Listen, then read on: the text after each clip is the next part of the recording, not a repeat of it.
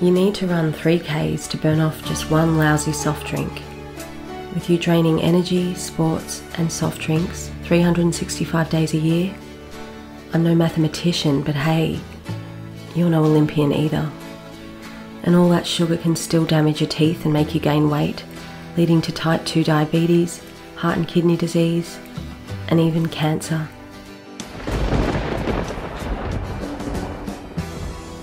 But there is another clear choice. I'm here for you, running wild and free, found everywhere, in everything. I am the sweet tears of Mother Nature.